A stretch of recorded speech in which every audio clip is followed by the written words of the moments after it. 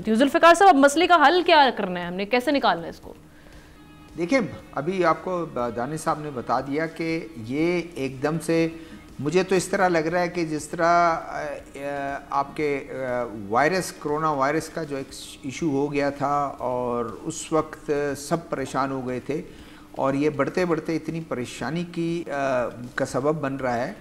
करना इसको एकदम कोई इतना आसान नहीं है। एक मैंने खबर पढ़ी है कि वो कोई मसनू जो है आर्टिफिशियल रेन के सोच रहे हैं कि आर्टिफिशियल रेन का इंतज़ाम करें बंदोबस्त करें और उससे इसको कम अज़ कम इस हद तक वो कर लें कि उसको कंट्रोल कर लें उसके बाद फिर जो मेजर्स होंगे उस ये वो हो सकता है।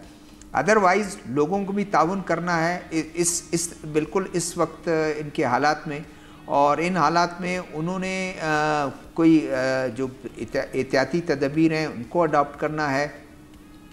ये बात बिल्कुल वो है कि गवर्नमेंट अपने तौर पर जो जितनी बसेस हैं जो जो पोल्यूशन में इजाफा करती है और उसके हेजिडियस उसके जो वो निकलते हैं बुखारात या उसमें से जो पोल्यूटेंट्स निकलते हैं उनको कंट्रोल करने के लिए उनको रक्षों को ये भी करें। लेकिन एकदम ये हल भी नहीं है। अगर एक रक्षे वाला आप उसको कोई महीना पहले पंद्रह दिन पहले कह दें तो वो अपना अल्टरनेट कोई बंदोबस्त कर सकता है लेकिन एक दिन आपने बिल्कुल एकदम बंद नहीं कर सकते हैं तो उनके लिए भी जो रोटी कमाने वाले दो वक्त की रोटी बना कमाते हैं उसी अपने रक्षे से आप उसका रक्षा बंद कर देंगे वो भी आपके लिए प्रॉब्लम मतलब पॉइंट बीइंग कि 2015 से ये सब हो रहा था उस वक्त अगर चश्मोपोशी ना की जाती हुकूमत की जानब से अब तब से अगर सोचा जाता अगर हम कह रहे हैं कि जी लॉन्ग टर्म के लिए अगर हमने सोचना है तो फिर ऐसा ऐसा इंतज़ाम करने पड़ते हैं। तब से सोचा जाता तो यहाँ तक मामला पहुँचते ना। बात यह है कि अगर उसको आप देखें आमना, हम आमना। अब जितनी जो हुकूमतें हैं हुकूमतें एक काम करती हैं वो हमेशा जो है एडॉक एडॉक बेसिस पे काम करती हैं। वो हमेशा ये करती हैं कि कोई थोड़ा सा हमारा टेनोर टल जाए उसके बाद दूसरे आने वाले खुद भुगते हैं सारा कुछ और यही होता है। बिल्कुल आपने ठीक कहा। हम्म। अगर पहला स्टेप जो है कुछ स्टेप्स जो हैं वो पंद्रह दो हज़ार पंद्रह में ले लिया जाता उसके बाद बाद वाली हुकूमतें ले लेती बाद वाली। ये मसला इतना सर ना उठाता। होता आपके कंट्रोल में होता और आप उसको जो छोटे मोटे मेजर लेकर उसको कंट्रोल कर सकते थे। लेकिन अभी ज़ाहिर है वो हुकूमत आती है वो अपने ही जो है वो एडवर्टाइजमेंट करके शोशा करके और ये भाई मेरा टेनोर गुजर जाए और मैं लोगों को तसली दिला हम दिला दें उसके बाद आने वाला जो है प्रायोरिटीज बहुत मुख्तलिफ़ हैं ये भी एक बात है। जी साहब आप मैं डायरेक्टली आपका टेक लूँगी इस पर टाइम सेव करते हुए।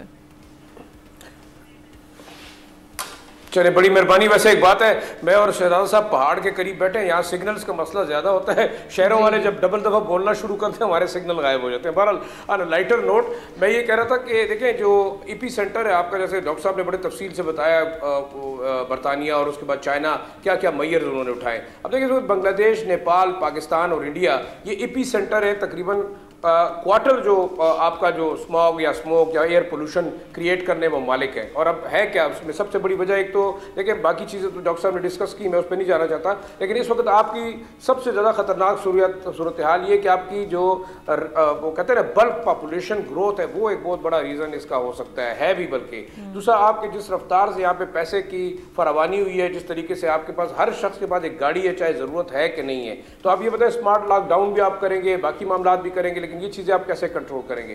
दूसरा, इस वक्त आप देखिए जो इंडस्ट्रियलाइजेशन वाला इशू है, आप क्या वो इंडस्ट्रीज़ इस्तेमाल हो रही है? गाड़ी बात है कि जो कि कोल रन है या ऐसे स्टील मिल्स हैं, आपकी दूसरी ऐसे जो पोल्यूटेंट पैदा करने वाली जो इंडस्ट्रीज़ हैं, वो पंजाब के अंदर भी हैं, वो आपके बाकी इलाकों के अंदर भी हैं। तो मेरे ख्याल में एक तो सबसे इंपॉर्टेंट चीज़ ये कि बाकी स्मार्ट लॉकडाउन करते हैं या ग्रीन लॉकडाउन करते हैं, लेकिन कुछ इशूज़ आपको लिटरली हल करने पड़ेंगे और वो है कि आप शहरों के अंदर गाड़ियों की मूवमेंट के ऊपर पाबंदी करें। आप देखें आप लंदन चले जाए, आप तुर्की चले जाए आप इस्तंबुल चले जाए आपको देखा कि एक खास लिमिट के अंदर आपकी गाड़ियाँ नहीं जा सकती।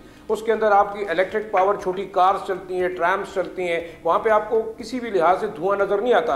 अब तो आप देखिए मेरे ख्याल में अगर आप आ, किसी बड़े शहर के किसी बहुत कंजस्टेड बाज़ार के अंदर भी जाएँगे तो आपको चार चार हज़ार सी की बड़ी बड़ी वी और रिवो और आपको four by four Hilux Datsun नज़र आएँगे इवन ट्रक्स नज़र आएँगे। तो मेरा कहने का मतलब ये है कि जब तक हुकूमत इन तमाम रियलिस्टिक चीज़ों के ऊपर नहीं जाएगी कि स्मार्ट लॉकडाउन और स्कूल बंद करने से मसाइल हल नहीं होगा। दूसरा देखिए इंपॉर्टेंट इशू क्या है? प्रायोरिटी हमारा जो है राय नहीं क्लाइमेट चेंज हम बार बार कहते रहे कि डिफॉरेस्टेशन जो आपकी है वो आपकी तबाही का बायस बन रही है। आप शहरों के अंदर आपने जंगला बसें शुरू कर दी आपने बेशक वो अच्छा है कि किसी लिहाज से आपके यानी मासिव ट्रांसपोर्ट को कम करके मास ट्रांजिट का जो वो कहते हैं ना जराए हैं उससे आपके पोल्यूशन में कमी आएगी गाड़ियों की तादाद में कमी आएगी। हम्म। लेकिन उसके साथ साथ आपने ग्रीनरी को ख़त्म किया। आप अगर केपी की जब आप बात करी तो आप यूनिवर्सिटी रोड सबसे ग्रीन बेल्ट होती थी। यहाँ पे लाखों के तादाद में दरख्त आज आपको दरख्त नज़र नहीं आते। तो एक वो जो डिफॉरेस्टेशन का एलिमेंट प्लानिंग के पार्ट में भी था वो भी खतरनाक हद तक इन शहरों को तबाह कर रहे हैं। तो देखिए एक जो ज़रूरी चीज़ करनी होगी वो आपको